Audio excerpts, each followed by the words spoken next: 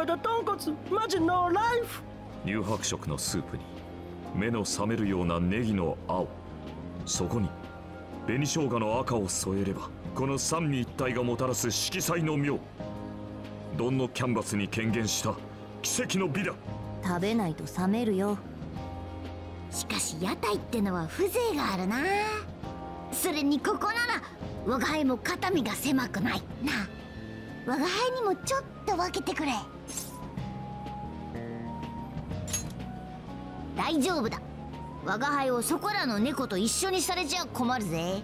どっからどう見ても同じ猫だろう。腹壊しても知らねえからな。てか誠疲れてるでしょ？私のチャーシュー分けてあげる。私のも持ってけ。ありがとう。なんだか気を使ってもらっちゃって。まこちゃん腰の具合どう？ホテルでゆっくりお風呂に入れたしずいぶん良くなったわ。けど明日は運転するのは難しいかも。事故でも起こしたら大変だし。じゃあ明日は休みだな。福岡にもう一泊っておっさんに言っとくか。じゃあ明日は誠のために良さげなマッサージのお店探そう。任せろ。最高の店を選んでおく。でもやっぱ運転手一人じゃきついよな。俺らも早く免許取ろうぜ。春はすでに持っていると言っていたな。ううん一応ね。ほとんどペーパードライバーなんだけど。でも万が一まこちゃんに何かあったら運転する覚悟はできてるから。え？いやそれは？誠急に顔色が悪くなったぞ。どうした？ななんでもないの。つかやべ。伸びる前に食わねえと食った。もう思い残すことねえわ。さすがにあれ以上は無理か。汁気がなくなってしまったからな。3人とも替え玉7つとかありえん。わんこそばじゃないんだぞ。兄ちゃんたちいい食いっぷりだね。5玉以上食べた人には記念品の丼を進呈だよ。おおおありがとなおっちゃん。ほう。これはいいものだ。車に飾っておくとしよう。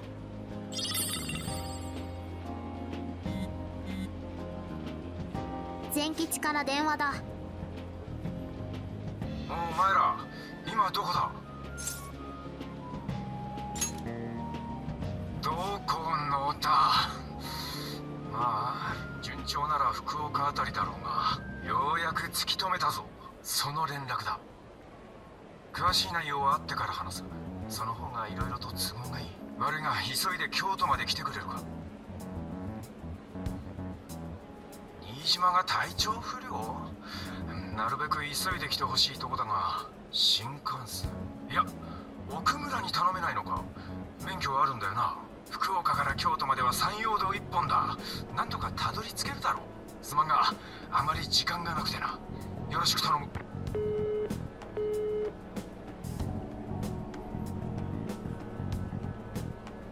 突き止めたって黒幕は？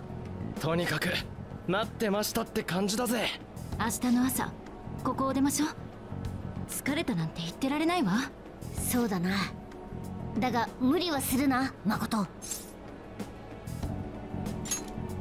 おや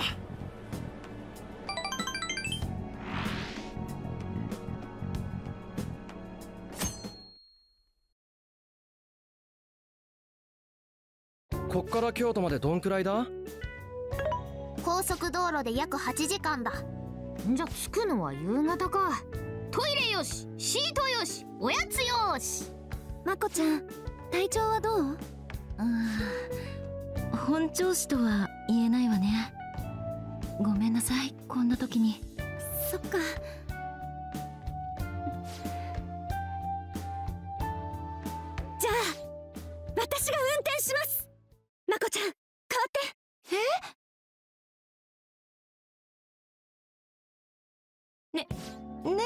ねえ春本当に大丈夫？ま誠の顔色がまた急変か。あんま緊張すんなよ。ゆっくり行きゃ大丈夫だって。春？任せて。ちゃんとギリギリを攻めていくから。なんだ？なんか様子違くないか？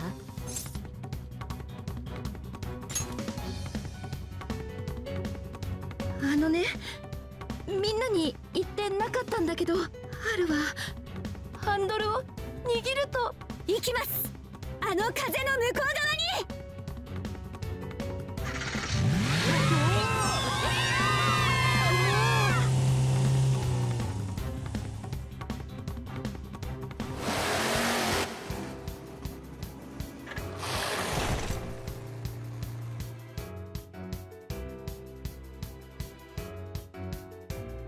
まだ来てねえか。さすがに早すぎたな。まあいい奴の捜査を進め。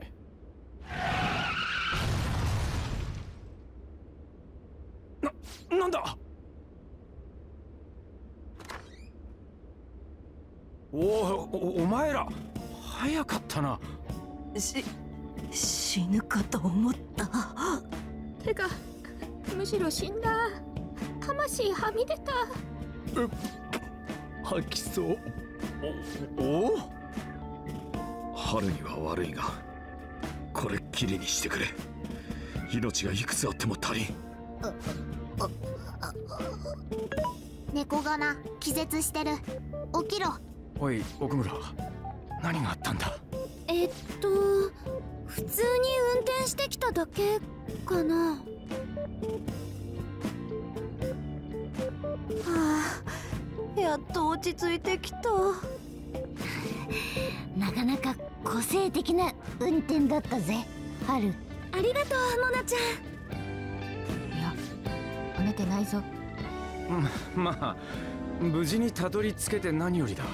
それよりここは一体何なんだ？警察の施設ではなさそうだが。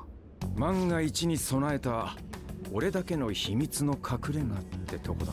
元は知り合いがやってたバーでな。今は俺が個人的に調べ物する時なんかに使わせてもらってる。全吉のアジトってことだな。セーフルーム。いやセーフハウスだな。これは2年前の新聞記事。余計なものは見なくていい。さっさと話を始めるぞ。で何が分かったんだ全吉。まあ順を追って説明する沖縄で見つけた改心者リストを徹底的に調べてみた。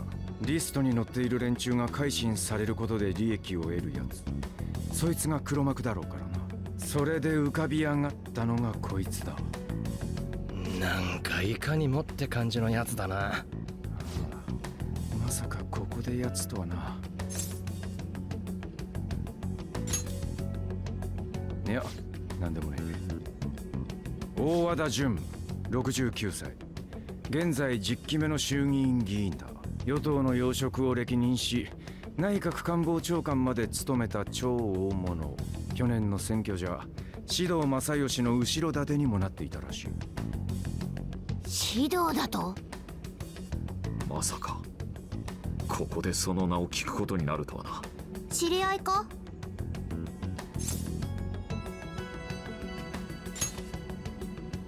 ああとんでもない大悪党だ。そうなのか。お前らとは浅からぬ因縁があるよな。だが今はそれが本筋じゃない。会心リストに載っていた連中はその多くが大和田に敵対する議員だった。大和田が限りなく黒なのは間違いない。だがさすがに改心の実行者とは考えにくい。敵対する人物と友達にはならんだろうしな。で奴の周辺に探りを入れたところ頻繁に接触している起業家を見つけた。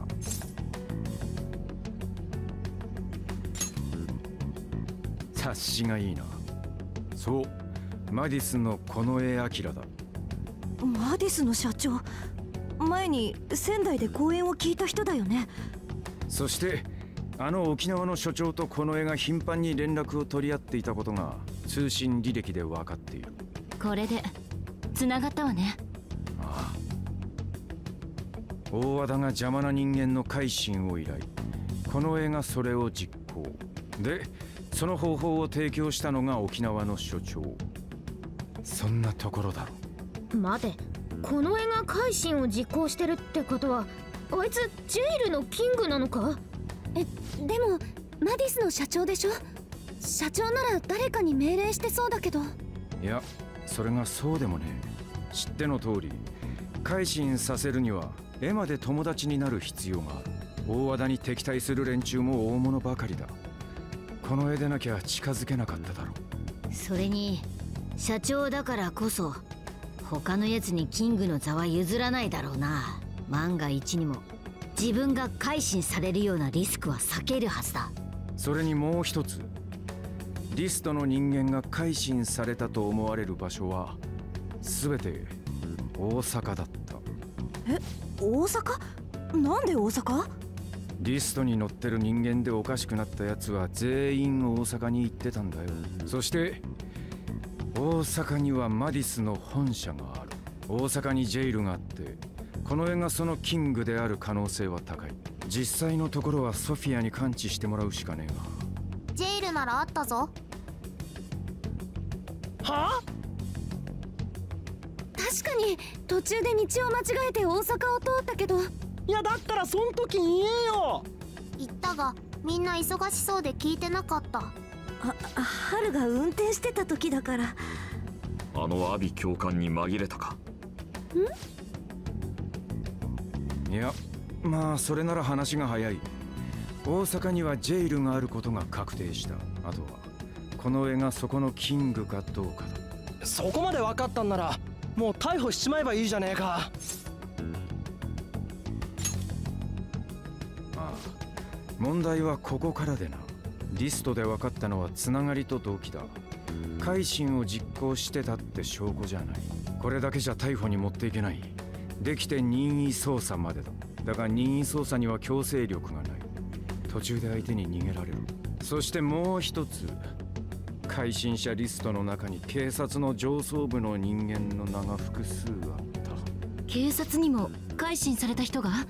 この分じゃリスト以外にも改心されたやつがいるだろうな。だからここに私たちを呼んだのね。敵がどこにいるかわからないから。やれても任意捜査まで。それすら上層部が改心済みじゃ通るかどうか。むしろ情報を流されて先手を打たれる可能性だってある。つまり警察は当てにできないか？へ そんなのいつものことじゃねえか。お前ら。俺も一応警察だぞ。とにかくまっとうな捜査じゃどうにもならねえってのは確かだ。しかしだ。お前らなら取れるだろまっとうじゃない手段。がああ。予想通りこの絵がジェイルのキングなら改心させて自白に追い込めるそうか。これまでこの絵にジェイルがあるなんて思わなかったしな。でもジェイルに入るにはキーワードがわからないと。まさしくそれが急いで京都まで来てもらった理由だ。実は今日マディスの本社でこの絵と会う手はずになっている。え？どうやったの？警察が被害の確認をしたいってことでアポを取り付けたんだお宅のエマをハッキングするという匿名予告があった。大丈夫ですか？ってな。お私の出番か？いや本当にやる必要はねえ。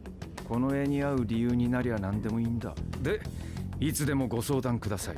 絵まで友達になりましょう。と持ちかける。奴にとっても公安を手駒にできるメリットがある。食いつく可能性は高い。そこでキーワードが聞ければ次はお前らの出番だ。これを伝えてから出発したかったんでな。せかして悪かった。本社ってことは大阪に行くんだろ？だったら俺らも一緒に行くぜ。そうだな。キーワードが分かり次第。ジェイルに入った方が隙がない。いや聞き出せるかどうかは賭けになる。無駄足になる可能性も高い。それに新島は本調子じゃないんだろ？お前らもまだ顔色悪いしな。えええまあ。もしお前らがやられたらそれこそ俺には打つ手がなくなる。お前らには万全の状態でいてもらわなきゃな。分かった。じゃあ我が輩たちは全吉の連絡を待てばいいんだな。なんだよ。また町かよ。お？そんなこと言っていいのか？せっかくいいものを用意してやったのに。いいもの？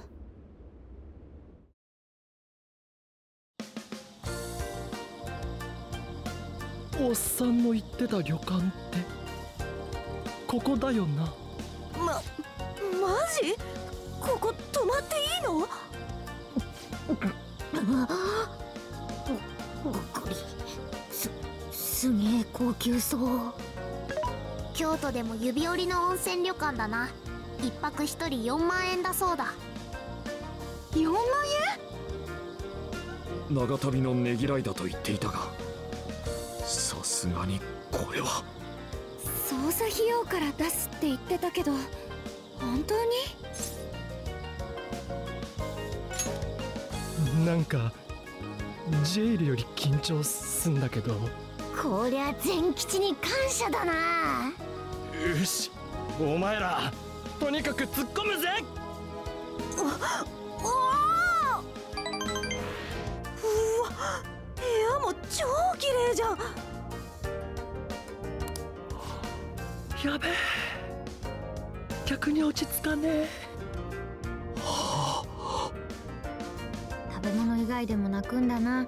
お稲荷ここならまこちゃんもゆっくりできるね。そうね。温泉もいろいろ効能があるみたいだし。早速突撃！温泉！今度こそ私も入りたい。なあ沖縄の時みたいに水中を案内してくれ男湯に入れる気かでも温泉にスマホ持って入っていいの受付の注意書きにあったな携帯の持ち込みは遠慮願うとなんてこった仕方ないな今回はおとなしく留守番してる後で部屋のお風呂に入れてあげるねソフィアやったありがとうハル猫柄は一緒に行ったらどうだここはペット用のシャワーがあるらしいペット扱いすんなまあ行くけどな。温泉でゆっくりしたら美味しいご飯が待ってるね。ネットで見る限り夕食はカニしゃぶしゃぶ京野菜そしておじやと豪華すぎる。涙の次はよだれかお稲荷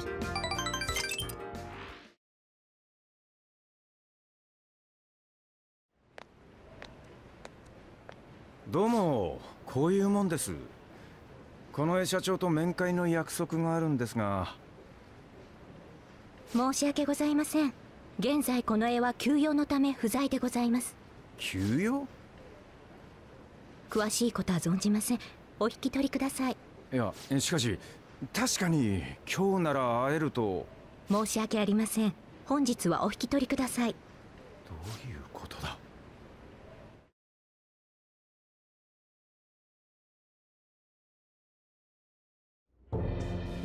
お呼びでしょうか長官。おお冠城君。待っていたよ。実は君に折りって頼みがあってね。そちらは？こちらは大和田先生だ。君も知っているだろお目にかかれて光栄です。大和田淳衆議院議員。よろしく冠城管理官。君のことは彼から聞いている大変に優秀だとね。ところで今は怪盗団を追っているそうだね。何でも世間で噂されている改心事件の首謀者だとか。容疑があるというだけで証拠はまだ。いやこれはある筋から入手した情報なんだがね。怪盗団は国民的コンシェルジュアプリであるエマにハッキングを試みていたそうだよエマをハッキング？そうだ。そこから個人情報を盗み出し人を脅迫するのに使っていたようだ。盗んだ個人情報で脅迫し罪を告白させる。それが改心事件の真相というわけだ。私は政治に身を捧げた人間としてこの国の行く末を案じていてね奴らのように危険なテロリストを放置しておくことはできない。今すぐにでも逮捕して国民に誠意を示してほしい。どういうことでしょうか長官。世間を賑わす族をいつまで放置しておくのかと。政府与党で議論になっているそうでね。我々警察としてはぜひともその声に応えたい。私も次の選挙には出馬予定でね。君ならわかるだろう。冠城君実績が欲しいと。そうあけすけに言わんでも。まあそういうことだ。証拠もないまま怪盗団を逮捕して一連の事件の幕を引けとおっしゃるのですか。それを用意するのも君たちの仕事だろう。エマを運営するマリス社の近衛君とも協議済みだ彼も怪盗団逮捕に協力してくれる。お言葉ですが時期尚早かと。改心事件で結果的に悪事を暴く怪盗団を支持する声もあります。下手に逮捕すれば批判の矛先が我々に向く。せめて脅迫の構成要件を満たすかどうかを。被疑事実は殺人だ沖縄にある AI 開発の研究所で死体が上がった。被害者はエマ開発の責任者。怪盗団がハッキングに必要な情報を得た後殺した。ということだ。わかるかね？事態は一刻を争うのだよ。これは冠城君にもメリットのある話だ。君には理事官の椅子を用意してある。長官？事実上の公安トップだ。不満はないだろう。君を見込んで頼んでいるんだよ冠城君なるほど。わかりました。お二人がおっしゃるのであればそのように処理しましょう。おお君ならそう言ってくれると思ったよ。聞いていた通り話のわかる人物のようだ。いずれ警察庁長官を目指してみないかね君なら務まるだろう。ありがとうございます。では後のことはお任せください。